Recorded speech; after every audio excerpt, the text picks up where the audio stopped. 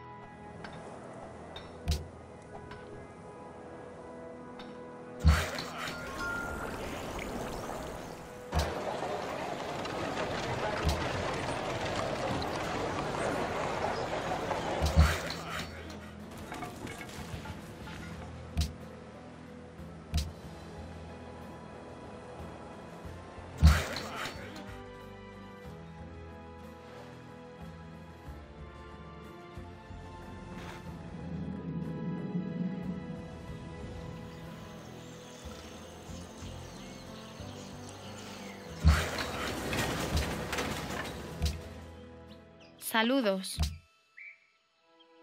Continuad.